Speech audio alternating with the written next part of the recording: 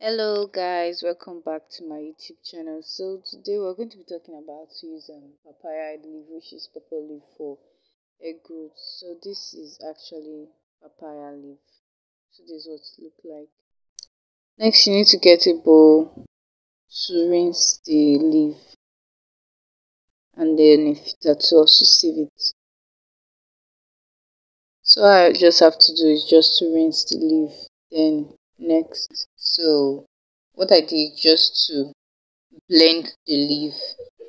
So after blending the leaf we have to sieve it out. So I got my wig cap a bowl a filter I just did this double process in order for I don't want any particle to avoid any particles to enter into the water.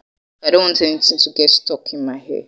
So that's why I did the double filtration process so as you're watching this video i'm going to be dropping the benefits of fire leaf to hair to our hair growth in general.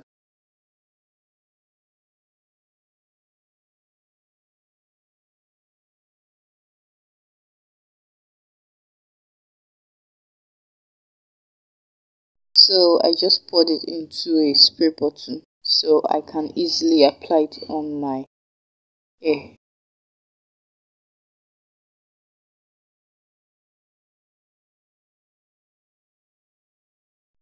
So this is me just trying to apply to my hair to ensure the water saturates my hair. So this is what I was doing, applying to my scalp and my hair entirely. So actually I'm applying this period to the time I'll wash my hair. So this is a kind of like a, a pre-put to my hair. So after applying it to my hair, I'm going to cover my hair with my shower cap and leave it for some hours before I wash it off.